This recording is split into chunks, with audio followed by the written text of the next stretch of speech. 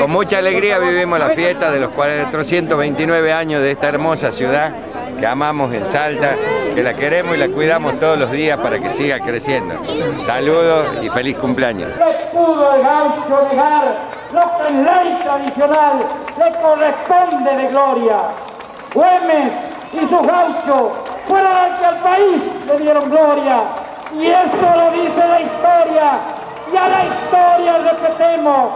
Pero no solo busquemos gauchos los campesinos, porque cuando escuchamos el himno de nuestra patria bendita, siempre hay un gaucho que palpita en cada pecho argentino. Fortín, el Tuzal de Velarde, uno de los fortines más viejos, uno de los fortines más grandes, más antiguos y más tradicionalistas que tiene la provincia de Salta.